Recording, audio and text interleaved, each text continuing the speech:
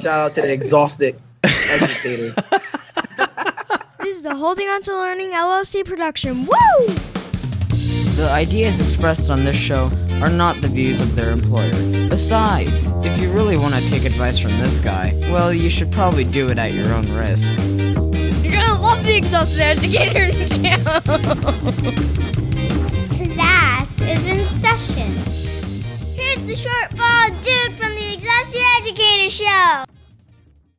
Ladies and gentlemen, I'm super excited to have Dr. Dana Goodier on with us today, a fellow Teach Better uh, podcast network member, and also uh, a soon to be published author. I'm really excited to have her on to talk about all of that. Dana, thank you so much for jumping on with me tonight. Well, thanks for having me. I'm excited. So, I got a lot of, I just want to like turn it over to you and let you roll with whatever you want to share tonight. I'm really excited. As I, I, I said before we officially started recording, I think what you're going to share will resonate really well with our audience because we're all Mhm. about recharging educational battery during what has been crazy times over the last few years. And, um, and so whatever we can do to provide the audience with um, strategies and stories and just anything feel good, pick you up kind of stuff is it will resonate well with this audience. And I, I know that's kind of where you're what you're all about. So um, before we jump into all that though, can you just kind of give everybody a little bit of background to your educational journey from where you've been all the way up to what you're doing now? Yeah, so um, this is my 23rd year in education. And for a lot of those years, I was a French teacher, mostly at the high school level. I also worked as a department chair at a few high schools, uh, gifted, talented co coordinator at a large high school. Um, and I did uh, do the principal licensure program uh, about 12 years ago. So about halfway into like where I am now. um, and uh, taught for a little bit longer, did some English, um, regular language arts, and then English for uh, second language learners. Um, and then I've worked as a dean in uh, AP. Um, and have, ha even when I was teaching, I had a, a lot of interest in uh, just uh, having um, dig, digging deeper, basically into attendance issues with kids, finding out what was going on. Um, so they didn't end up truant, right? So uh, really supporting those families if a kid uh, was missing school, and also looking into systems uh, to avoid, um, you know, excessive behaviors in the classroom in terms of um, if kids uh, weren't on task or you know teachers uh, finding more time, right, to keep kids on task and to uh, get through the lesson. Um, but also to connect with kids. Uh, so I do a lot of PD uh, where I speak at conferences on uh, time on task, and I use some of the experiences that I had in my career um, early on, uh, because when I went to uh, teacher training back in the late 90s, a lot of it was like, here are the, you know, say the rules, you know, this is, uh, it's my way or the highway, right? Uh, very much uh, the authoritarian teacher. Uh, and that backfired. You know, it took me a few years to, to learn, right? So, because I wasn't really being that, um, you know, relationships driven teacher and I was um, very much reacting to student behavior rather than working to prevent it. So I talk a lot about that um, when I do breakout sessions at conferences. I also, um, you know, have uh, an EDD in educational leadership. So for that, I researched uh, opt outs on high stakes tests between 2014 and 2019. So I, um, you know that's that's something that has like i was an electives teacher so we were never um, you know i was in a subject matter where the test we weren't teaching to the test right? And i i felt like as a department chair of an elective we didn't necessarily always get the support when when it comes to like funding and things like that. Um, so i um, you know thought it was, would be interesting to kind of research like schools and how how much different schools were uh, focusing on getting kids to participate on the test uh, in order to bring up their achievement rating. Um, so I focused on three middle schools and you know the participation rate and all that, and then developed PD modules for both parents and teachers um, in the district that I researched. So um, done a lot of different things. Um, I'm all, working right now, kind of uh, more of a as a coach for um, English language learner uh, teachers, uh, supporting the co-teaching model um, at the secondary level Uh, it's been in the district for about 10 plus years, but it's working a lot better at the elementary level than at the secondary level, right? So, kind of um, helping them become more um, ebb and flow rather than just the guide on the side. Um, because both for for special ed and for um, ELL teachers, there's a lot of that like they don't know where their place is in the classroom. So, uh, really helping um, them find um, how they can support the uh, students they're working with, but also um, be that um, second teacher that's not just there for a few students. So, yeah, um, so I've done a lot. Um, yeah, you've got a lot. a lot got, of hats. you've got you've got a lot of experiences to draw on. You know, that's amazing. So, uh, you kind of build yourself over over a lot of years in education. Sometimes you blink and you think, "Wow, twenty some years later, I look back and and these are all the pieces that that have gotten me to this point." You obviously have had an incredible journey to get to where you're at now. I want to dive into your book, but first, let me quick ask you about your podcast because I know that goes along with it, right? You want to share with the audience about your podcast because I, I really think that our audience would resonate that, that your podcast would resonate well with our audience if they haven't found it yet. Mm-hmm. So as you mentioned, it's on the Teach Better Podcast Network. If you wanted to find it there, but um, you can find it on you know Spotify. Um, it's on Podbean, uh, so that's where it's housed. Um, um, and so it has over 200 episodes at this point. I celebrated with a live 200th episode. I saw week. that. Congratulations, by yes, the way. That's amazing. It's a great thank achievement. You. And so it's called Out of the Trenches uh, because, like, I did start it during the pandemic, but I have felt like I've been in the trenches different points in my career. And as a um, world language teacher, I was in a position sometimes where the funding was cut. Um, I was at a district, a small district at one point where um, there were nine world language teachers spread over two high schools, and four of us lost our jobs one year. Hmm. So, you know, those type of stories where it's like, you know, you really don't get like a um, warning about those things, right? And you kind of have to dig yourself out. Um, so I wanted to hear stories of educators who've been there, and this could be when I asked them to share on the podcast, I asked them, you know, it could be a story when you were a new teacher, uh, could be something more recent.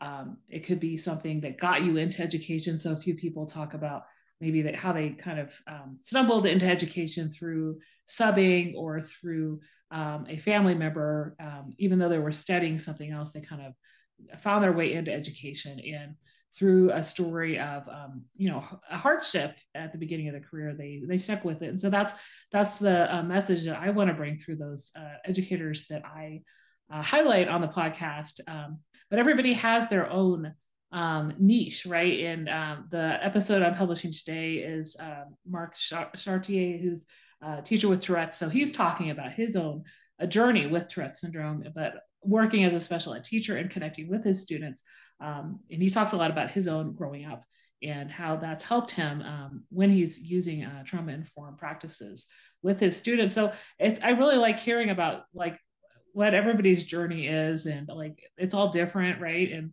I've I've interviewed some big names, but I've also interviewed just uh, just the average Joe teacher, right? Right. Right. So and I like I like to highlight and give people a platform to to share and um, to talk about like um, you know what's what's what's uh, why why they what what their why is and and you know why they stay or sometimes they're consulting but why they are helping districts and what their goal is in in that consulting field that they're in that's great that's great and uh, you do a great job by the way and you have a, a wide variety of of people you bring on and i think your your the content you provide is really meaningful and speaking of providing meaningful content uh, you've got this exciting new project you've been working on that's coming out. By the time this this episode drops, I believe hopefully it will be out. Yes. Why don't you share with everybody all about it?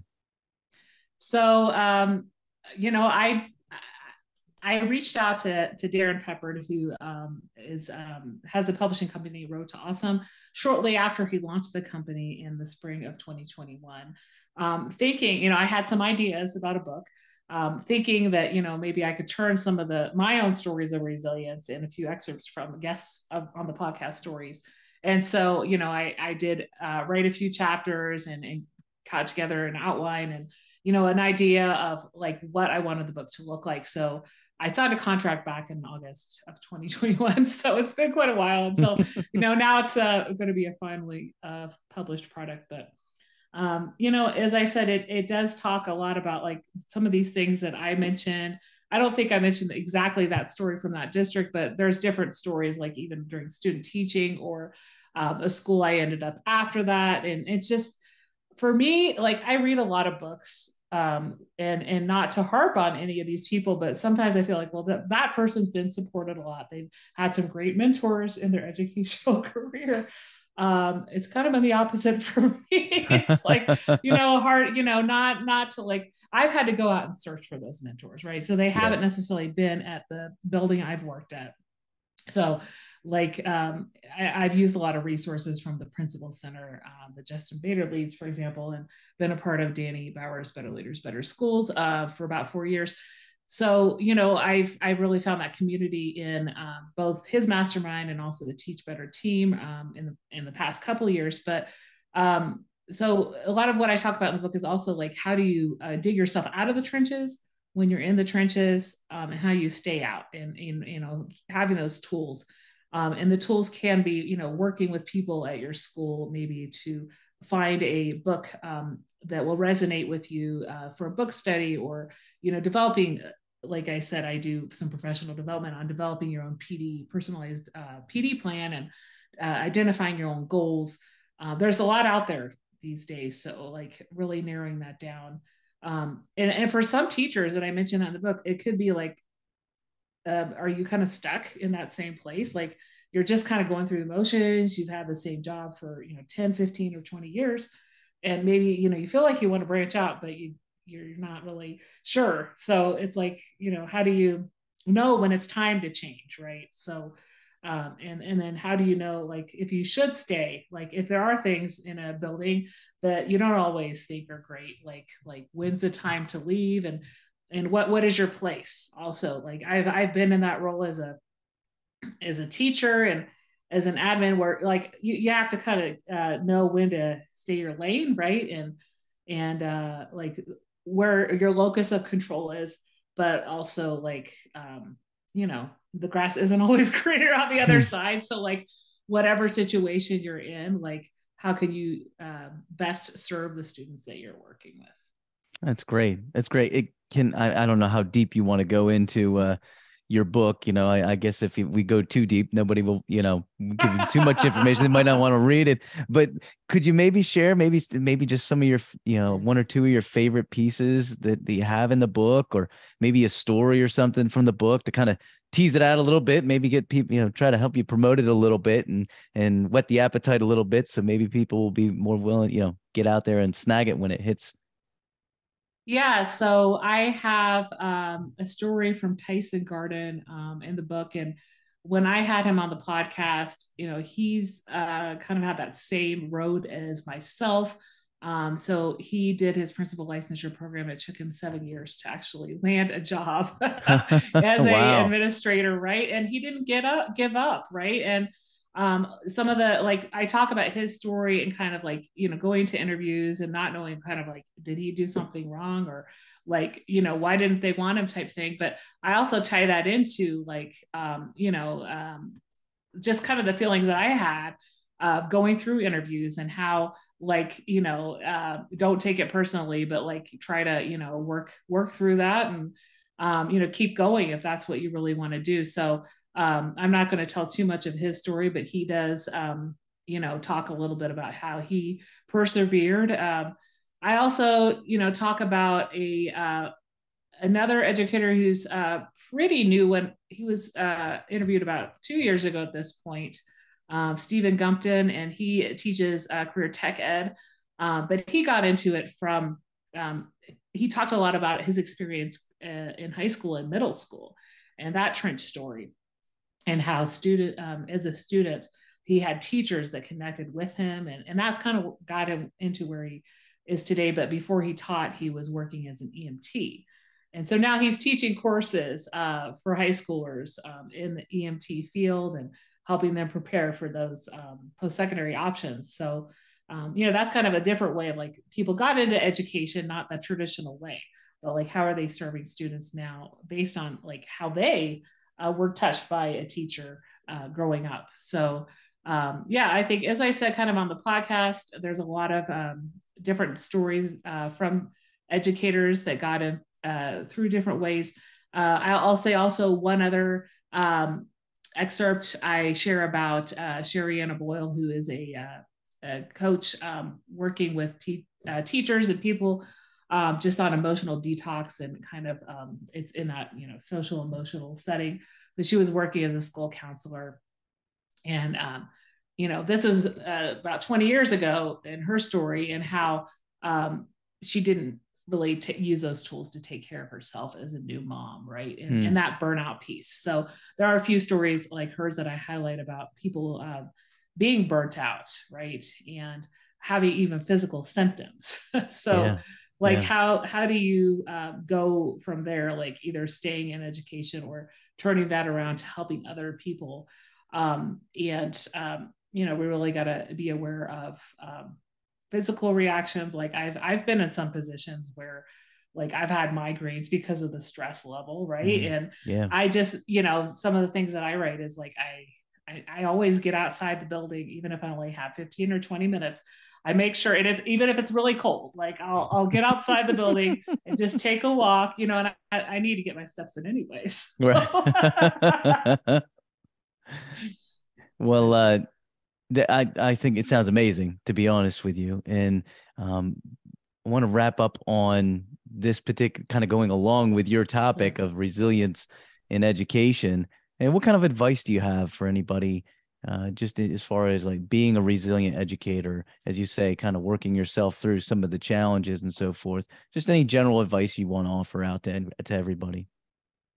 Um, you know, I really think it's uh, finding a network of people uh, that you can rely on. And as I mentioned, um, for me, it wasn't really at the school.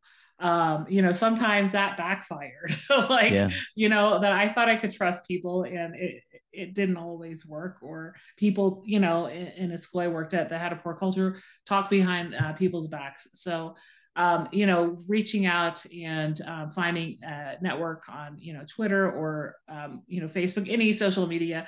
But sometimes those are also very like um, superficial. Mm-hmm. So I think the best is finding a mastermind. Like I mentioned, these admin masterminds, but there's also teacher masterminds. Um, one of the guests that I write about in the book, Amber Harper, has a mastermind for teachers there's also Happy Teacher Revolution, uh, Dina Thomas, who has a mastermind for teachers. So there's ones out there um, where you know they they meet I think weekly and um, they do workshops together. So uh, don't be afraid to reach out um, beyond your building and beyond your district because there could be issues that you know you don't want people necessarily in your own workplace to know about that you're dealing right. with. Right. Um, and it's good to have that ear of people, um, that non-biased opinion.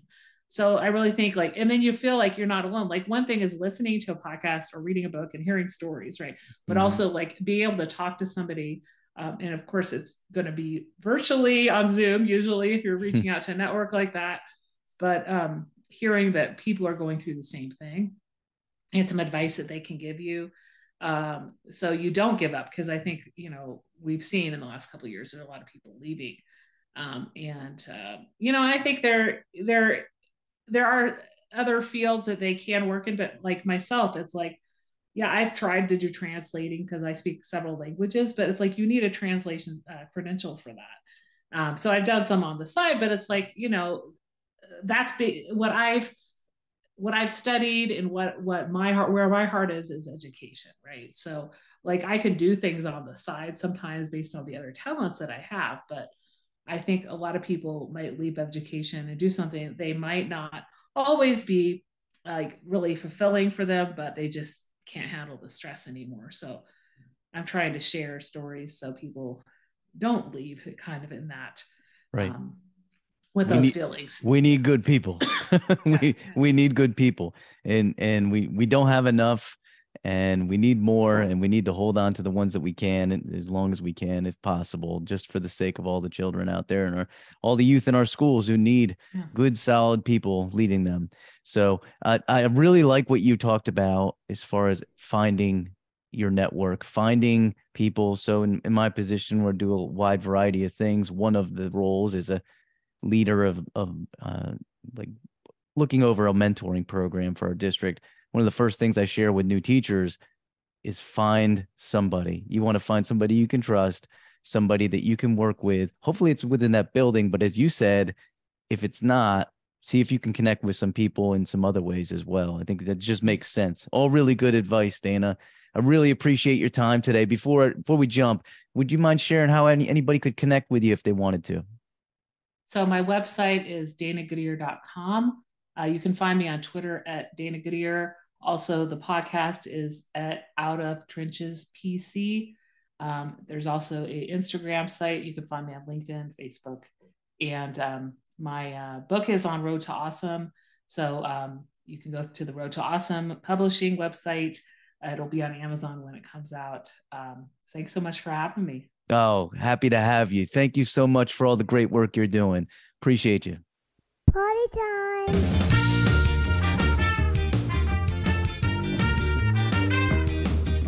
It's like boo, boo, boo. Sirens are going off in my head. We're gonna try to just not be horrible. I'm watching you, exhausting educators. Always watching. Class is dismissed.